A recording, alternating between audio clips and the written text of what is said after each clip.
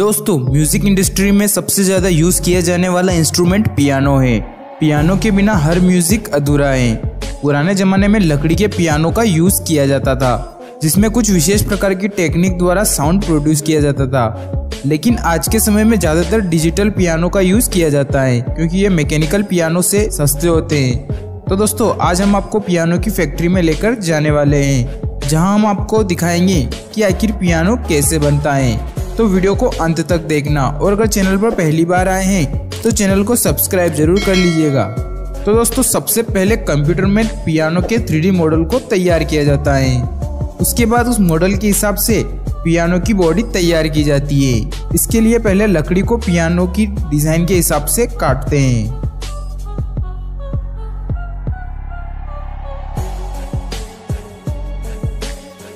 Piano के सारे टुकड़े तैयार हो जाने के बाद इन सबको आपस में जोड़कर पियानो की बॉडी तैयार कर ली जाती है।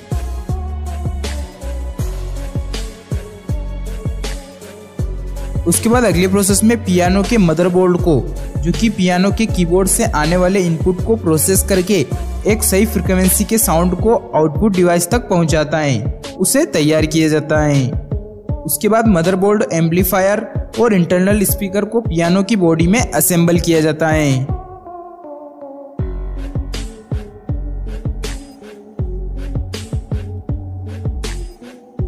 अब अगली प्रोसेस में प्लास्टिक को पिघलाकर एक मोल्डिंग मशीन द्वारा पियानो की की कैप्स को तैयार किया जाता है।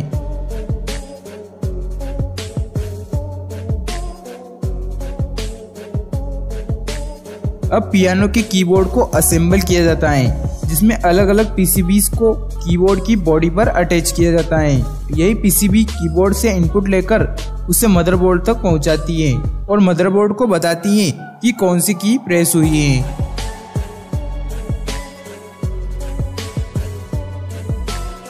उसके बाद की कैप्स को इस कीबोर्ड मोल्ड पर असेंबल किया जाता है।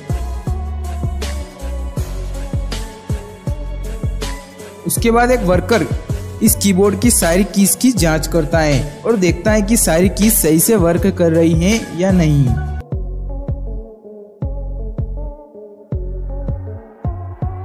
उसके बाद इस पूरी कीबोर्ड यूनिट को पियानो की बॉडी में फिट करके मदरबोर्ड के साथ में कनेक्ट किया जाता है।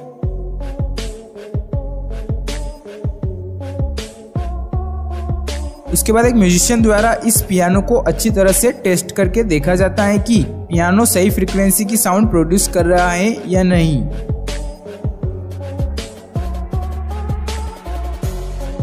टेस्टिंग में पास हो जाने के बाद अब इस पियानो को अच्छी तरह से पैक किया जाता है।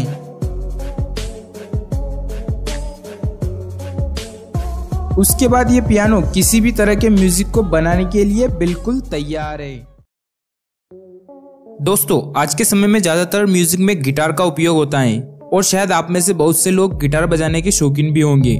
तो आइए आज जानते हैं कि आखिर गिटार को फैक्ट्री में कैसे बनाया जाता है। दोस्तों गिटार को बनाने के लिए सबसे ज़रूरी चीज़ होती है लकड़ी।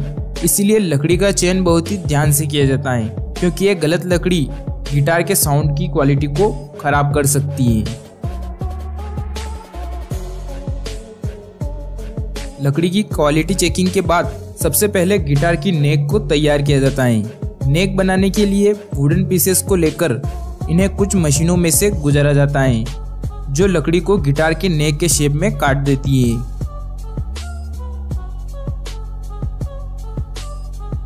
उसके बाद नेक के ऊपर फिंगर बोर्ड को ग्लू की हेल्प से चिपकाया जाता है।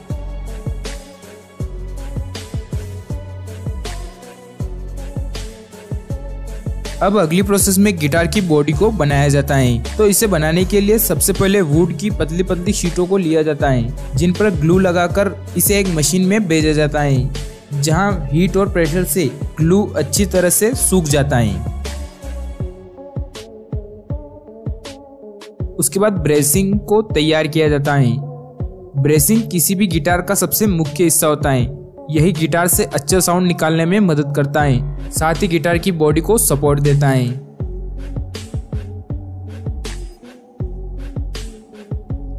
अब अगली प्रोसेस में गिटार की साइड को बनाया जाता है। इसके लिए एक वर्कर वुडन शीट पर पानी स्प्रे करता है और फिर इसे मोल्ड में रखकर इस पर प्रेशर अप्लाई किया जाता है और साथ में इसमें हीट भी दी जाती है, जिससे वुडन शीट उस मोल्ड का शेप ले लेती है, वो भी बिना किसी क्रैक के।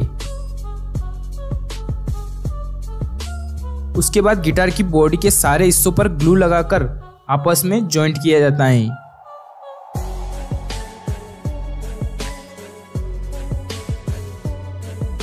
अब अगली प्रोसेस में इस गिटार की बॉडी पर पेंट किया जाता है, जिससे गिटार की खूबसूरती और बढ़ जाती है।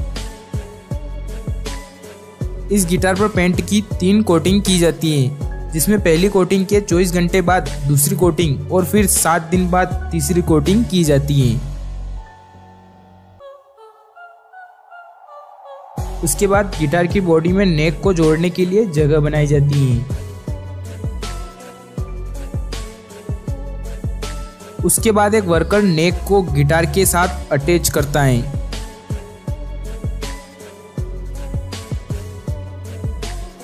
उसके बाद अगली प्रोसेस में गिटार की बॉडी के ऊपर ब्रिज को अटैच किया जाता है। इसे बड़े ही ध्यान से सारे मेज़रमेंट लेकर इंस्टॉल किया जाता है। नहीं तो गिटार की साउंड बिगड़ सकती है। उसके बाद गिटार में आउटपुट जैक और इलेक्ट्रॉनिक कंपोनेंट असेंबल किए जाते हैं। अगली प्रोसेस में एक वर्कर गिटार की स्ट्रिंग यानी तार को गिटार पर असेंबल करता है।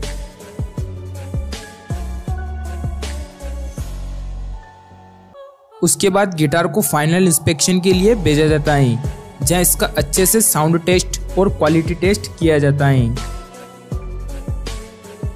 टेस्ट में पास हो जाने के बाद फाइनली ये गिटार मधुर संगीत निकालने के लिए तैयार है। तो दोस्तों, कैसी लगी वीडियो, कमेंट करके ज़रूर बताना। और वीडियो पसंद आया तो इसको लाइक कर देना और चैनल को भी सब्सक्राइब कर देना। Thanks for watching this video